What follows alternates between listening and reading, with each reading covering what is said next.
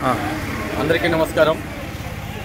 ముఖ్యంగా ఈ వారం నుంచి ఎడదిరిపు లేకుండా విజయవాడ నగరంలో భారీ ఎత్తున వర్షపాతం నమోదయ్యి ఇండ్లు అపార్ట్మెంట్లు కూడా మునిగిపోయే పరిస్థితిలో గౌరవనీయులు ప్రీతమ నాయకులు మన ఆంధ్రప్రదేశ్ ముఖ్యమంత్రి నారా చంద్రబాబు నాయుడు గారు మరి అన్ని జిల్లాలలో మంత్రుల్ని మరి ఇన్ఛార్జీల్ని పార్టీలో ఉన్న కేడర్ని అంతా కూడా ఆహ్వానించి మరి కొన్ని దిక్కల ఇన్ఛార్జీలుగా నియమించారు.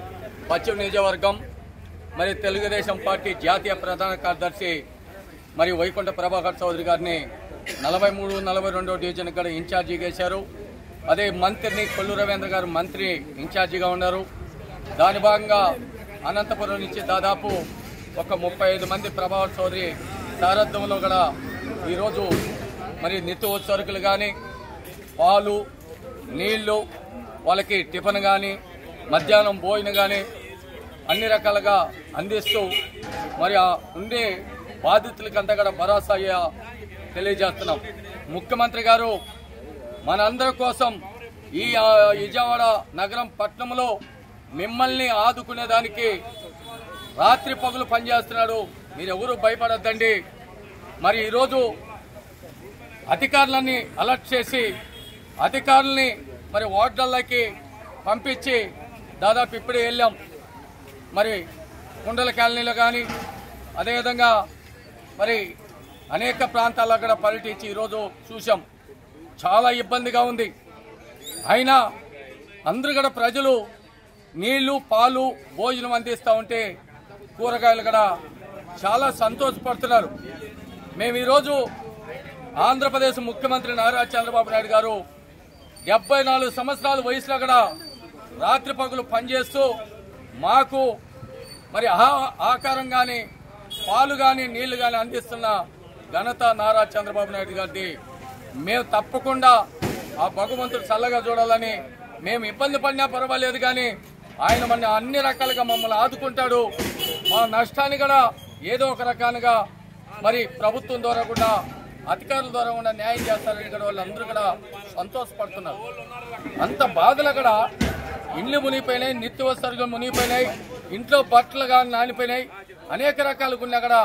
వాళ్ళు ధైర్యంగా ఈరోజు మా కోసం మరి చంద్రబాబు నాయుడు గారు ఆయన కూడా పనిచేసే అధికారులందరినీ కూడా మీరు ఎక్కడో అనంతపురం జిల్లా నుంచి వచ్చి కూడా గుడివాడ నుంచి కూడా చాలా మంది వచ్చినారు. అందరు కూడా వచ్చి ఇక్కడ మాకు కూడా సర్వీస్ చేస్తుంటే మాకెంతో బాధకున్నా సంతోషం పడుతున్నామని కూడా అందరూ కూడా వాళ్ళకి అన్ని రకాలుగా మరి రాష్ట్ర ప్రభుత్వం కూటమి ప్రభుత్వం అన్ని రకాలుగా ఆదుకుంటుంది. ఎవరు కానీ ఎలాంటి ఇబ్బంది ఈ వైఎస్ఆర్ మరి పిచ్చి ముదిరి పరాకాష్ఠకి చేరి రకరకాలుగా ఆరోపణలు చేస్తారు. ఇది ఆరోపణలు చేసే మరి పరిస్థితి కాదు. చిత్తశుద్ధి ఉంటే ప్రజలకి మెరుగైన సదుపాయం కల్పించాలి. వాళ్ళకి ఏదైనా కానీ పాలు కానీ నీళ్ళు కానీ ఇవ్వాలి. ఒక మాజీ ముఖ్యమంత్రిగా ఉండి ఒక్కరోజు అటు వచ్చి అడ్రస్ లేకుండా మరి పారిపోయి ఈరోజు ప్రభుత్వం నిర్లక్ష్యం అంటది సిగ్గానే ఉండాలా? ఈరోజు ప్రజలే చెప్తున్నారు.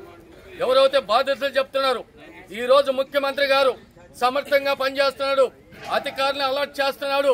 ఎక్కడెక్కడ అన్ని జిల్లాల నుంచి కూడా పదమూడు జిల్లాల నుంచి విజయవాడ కదా రప్పించి మాకందరికి కూడా అన్ని రకాలుగా న్యాయం చేయడానికి పనిచేస్తున్న వ్యక్తిని విధంగా మాట్లాడేది బాగలేదని కూడా వాళ్ళు అంటున్నారు. రోజా గారు మనం మాట్లాడారు. అసలు సిగ్గు చెరవ అనేది రోజాకు లేదు. అసలు లోకేష్ బాబు గారు హైదరాబాద్లో ఉన్నదని కారు కూతలు కూస్తున్నది రోజా గారు. నేను ఒకటే తెలియజేస్తున్నది. మీకు పచ్చి కావర్లు వచ్చి మీకు రాష్ట్రం అంతా పచ్చంగా ఉంది. ఇక్కడ ఏం పని చేస్తున్నాడు? ఓటర్లో నడుచుకుంటూ పోయి మంగళగిరి కానీ విజయవాడ ప్రాంతంలో కానీ అధికారులతో మాట్లాడి ఏ విధంగా ఆదుకోవాలా బాధ్యతల్ని ఏ విధంగా రక్షించాలి ఏ విధంగా వాళ్ళని కాపాడుకోవాలని నిరంతరం శ్రమిస్తూ కృషి చేస్తూ ఉంటే ఈ పనికిమాలని చెత్త మాజీ మంత్రులు ముఖ్యమంత్రులు వాళ్ళకి ఎదవలు సిగ్గులేదు వీళ్ళకి ఈ ఇటువంటి పరిస్థితుల్లో రాజకీయాలు చవ రాజకీయాలు చేసి అప్పుడు రాజకీయాలు చేశారు. ఈరోజు ఈ చ- ఇక్కడ ఈ వరదల పైన రాజకీయాలు చేయాలంటారు ఆ కనకదుర్గమ్మ గారు క్షమించదు మిమ్మల్ని గుర్తుపెట్టుకోండి.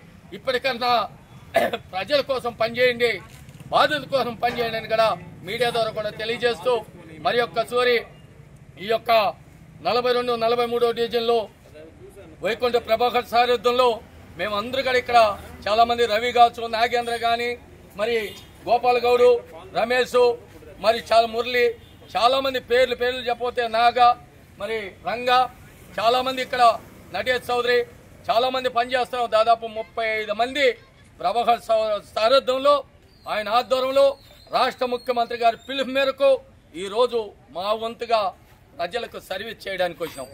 మా వంతుగా మరి ఏదైనా కానీ నిత్య సరుకులు కానీ కూరగాయలు కానీ వాళ్ళ కాడ పోయి ఆ నీళ్ళల్లా చూస్తే బాధాకరం ఉన్నది. మా వంతుగా మేంగా చేస్తున్నాం కాబట్టి ఈ వరదలు ఎంతతో నిలిచిపోయి ప్రజలు సురక్షితంగా ఉండాలని కూడా వరుణ్ దేవుని కూడా కోరుకుంటున్నామని కూడా మీడియా ద్వారా తెలియజేస్తాం